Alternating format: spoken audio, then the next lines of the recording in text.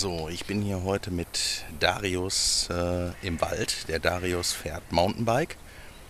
Wir haben hier ähm, eine ganze Menge Fotos schon gemacht.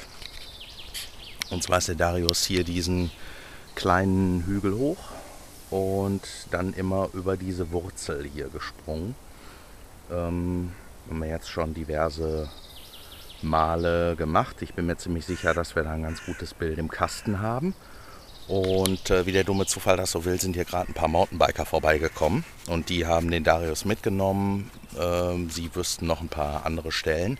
Da ich aber zu Fuß bin, ähm, sind die jetzt erstmal losgefahren und ähm, sondieren sozusagen die Lage, ob das wirklich eine gute Location ist, die andere.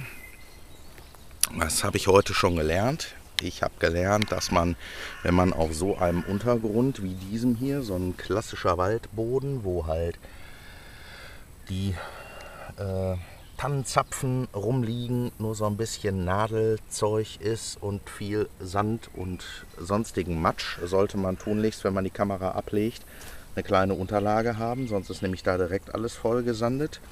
Die zweite Sache ist, dass man am besten die Sonnenblende Richtung Tal legt und nicht Richtung Berg, ähm, weil sonst halt permanent irgendwie man den Sand aufnimmt. mein ähm, 5001 Manfrotto-Stativ ist hier mal mit dieser Modifikation zum Einsatz gekommen, wo ich halt mehrere Löcher reingebohrt habe und äh, sozusagen einen gewissen Winkel anstellen kann und trotzdem steht die Stange von dem Stativ noch gerade. Und äh, ja, es ist eigentlich noch ein bisschen hell. Ich hätte gerne ähm, jetzt aktuell halb acht. Eine Stunde später wäre besser gewesen, ähm, da dann die Umgebung irgendwie bedeutend dunkler geworden wäre. So, Jetzt hoffe ich, dass Darius dann in absehbarer Zeit zurückkommt, vielleicht mit einer neuen, besseren Location als die, die wir haben und dann schauen wir mal weiter.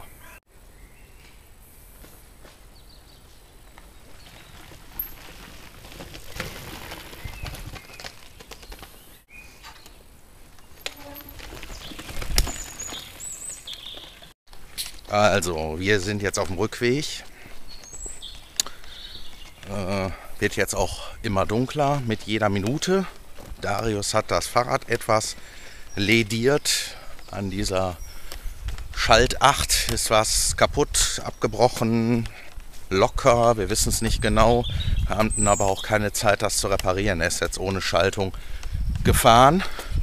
Bisschen Schmerz muss sein. So, und jetzt äh, laufen wir hier gerade munter durch den Wald zurück.